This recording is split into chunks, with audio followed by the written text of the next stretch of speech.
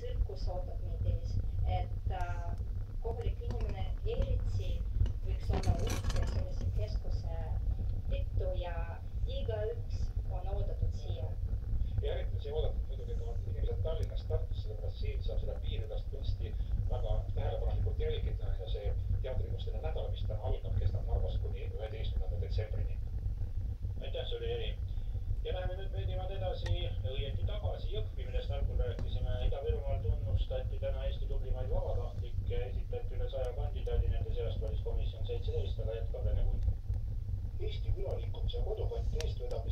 Jõhvi kontserdimajas toimunud tunnustusüritusel anti autasud välja kolmes kategoorias. autasustati vabatahtlikke, vabatahtlikke kaasajaid, jutublisid ettevõtteid. vabatahtlike tänanud president Kersti Kaljulaid toonitas oma kõnes, et riik ja omavalitsused ei tohi võtta vabatahtlikke inimestena, kes täidavad oma rolli vaid seni, kuni neile appi tullakse. kui me vaatame ringi, siis mida me näeme? me näeme inimesi, kes riskivad omaenda eluga, päästes teiste elusid.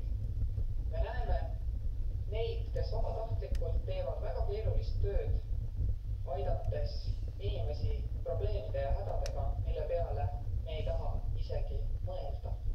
aga nemad on seal. on ka vabatahtlikke, tänu kellele kestavad ja arenevad meie kultuuri ja spordiharrastused, õpiringid ja tolgupäevad vabatahtlikke, kes rakendavad oma erialast talenti ning kogemusi lisaks palgatööle seal, kus selle eest ei maksta. tänu sellele on meie elu tervem, sisukam ja ilusam. ja ma väga loodan, et ka teie enda elu, kallid vabatahtlikud, on sisukam ja ilusam. Janno Vool mittetulundusühingust Iisaku Priitahtlik Pääste sai autasudel vabatahtliku päästjana, kuid päästjana töötab ta ka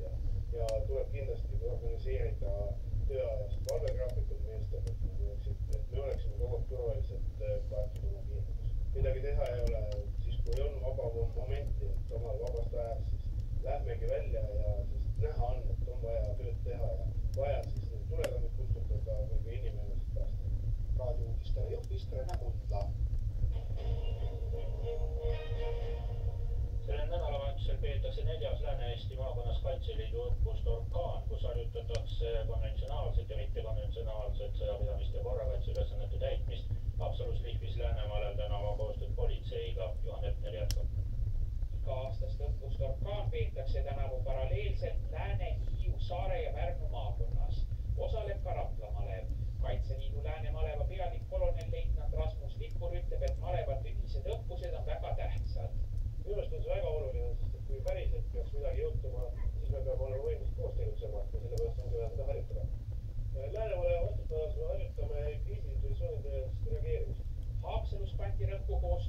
politseiga.